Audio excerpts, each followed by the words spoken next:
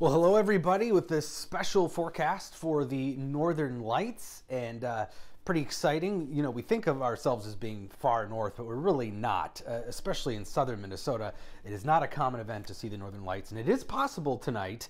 Uh, and you're going to want to get away from the city, and that means even out of the metro, anywhere where there's artificial light, because you want the, as dark a sky as possible, because it, they are fainter this far south. But it's worth reminding ourselves, or maybe some don't know, what causes the northern lights? And so how can we forecast it by understanding how it works? So there's the sun. This is a schematic. It's basically junk from the sun being flung at earth and it's the reaction of that electro electrically charged stuff with Earth's magnetic field that creates the beautiful lights. And because of the poles, that's where all the energy is uh, deflected to. That's why it's best to see it at either the North or South Pole, and of course, at night as well. And of course, we're in northern hemisphere winter where there's lots of night further north, so you have lots of opportunity to see those northern lights. So here's a quick uh, sort of animation of how this happens thanks to NASA. You have the uh, mini, uh, basically electric fields here, or magnetic fields from charged stuff from the sun, and this is what it actually looks like. Pretty cool stuff. So it's electrically charged plasma that eventually is ejected. They call it a coronal mass ejection. It's flung towards Earth about 18 hours after it leaves the sun's surface, it gets to Earth. So that just tells you how far away actually the sun is uh, moving at the speed of light. It takes 18 hours still to get here.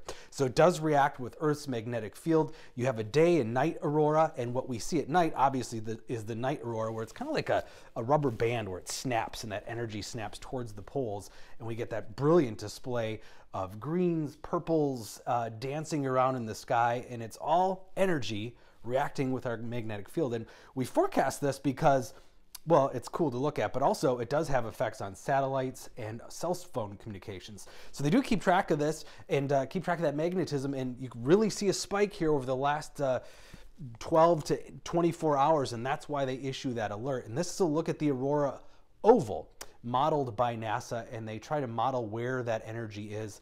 Obviously, where it's dark, that's where you're going to see it. And then as darkness comes across Minnesota, Canada, Alaska, we will see it as well. So this was what it looked like yesterday.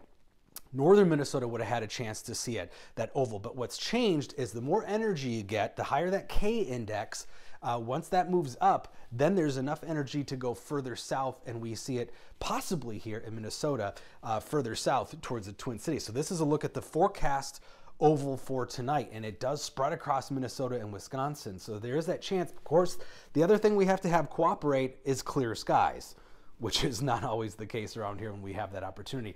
And it is looking pretty decent, better here actually than northern Minnesota. Now, the further north you go, the better chance of seeing the northern lights typically, but they're going to have more clouds. They've got these high and mid-level clouds coming off kind of the jet stream here out of the Dakotas. And we've got a couple of patches of clouds that'll be moving through here in the southern part of the state, but not as much. And I think there'll be more of those high clouds. So it's all about getting out there when the sky's clear and uh, again, away from city lights because it's not going to be as vibrant as a National Geographic photo because we are further south at middle latitudes. So uh, here's a look at the forecast cloud cover as we head into the overnight hours. We are going to see some clouds come through occasionally. It won't be 100% crystal clear, but again, better here in the southern part of the state. Northern Minnesota will be dealing with those mid and high clouds. We do see a few clouds here early in the evening. Those are coming out of South Dakota. Clearest time period here, I paused, is between about 1 and 5 5, 6 a.m. So that is going to be prime time to see the lights anyway, but also clearer skies. So set an alarm maybe. Clouds will start to move back in in the early morning hours. And I want to show you the cloud type here, breaking down the European model. Uh, it is going to be in the form of high clouds that we're seeing. So be aware of that. But again, the best time after midnight, get out there, clear skies, away from the city. We're lucky that in the Twin Cities, you only have to drive half hour to an hour and you can be in pitch darkness. So if you're into seeing the lights, a rare opportunity to possibly see them this far south. Good luck.